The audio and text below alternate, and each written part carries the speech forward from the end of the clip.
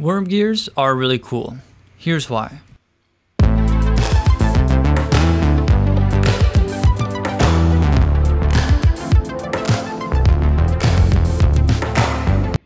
There are two reasons why worm gears are really cool. The first one is pretty obvious. It's a really good way to get a high gear reduction, especially in such a tight space. Let's place a black mark on one of the gear teeth on the blue worm wheel. And here you'll be able to see how many times I have to spin the red handle to get the blue gear to rotate around once.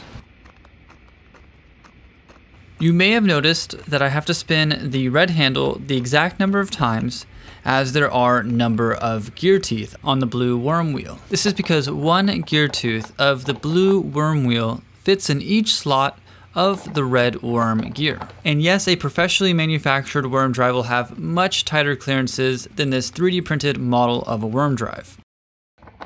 The second reason why worm drives are really cool is because they cannot be back driven. Let me show you exactly what this means. We could get the blue worm wheel to spin by rotating the red worm gear. However, we can't spin the red gear by trying to spin the blue gear. It completely locks in place. This is perfect for something like a musical instrument where you have to tighten the strings with a lot of force, but you want the strings to remain taut once they're tightened. My 3D printed violin uses this mechanism for its tuners. Notice how once the pitch is set, the worm drive makes it so it doesn't go out of tune instantly. Another application that is essentially the same principle yet completely different is for a hoist. Obviously, after you lift something heavy, you don't want it to immediately fall back down. This is where the worm gear shines. Once it's locked into place, it should stay. Worm drives are also used in circular saws. This is because they could pack a lot of power in such a small, compact space.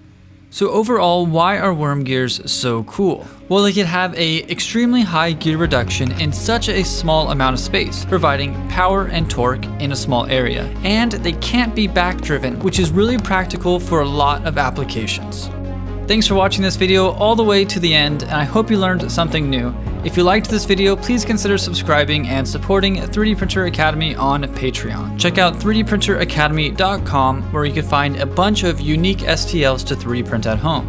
I also have a new section where I'll be posting completely free tutorials. Over time, I'll continue to populate this section with more and more videos. You could also find my paid courses online where I go in depth showing you how I design and think about designing things for 3D printing. And lastly, I have a buyer's guide, so if you're new to 3D printing and you're not sure what 3D printer to get, what type of filament to get, you could go to this buyer's guide on my website and see all of the products that I recommend. Once again, thanks for watching and happy printing.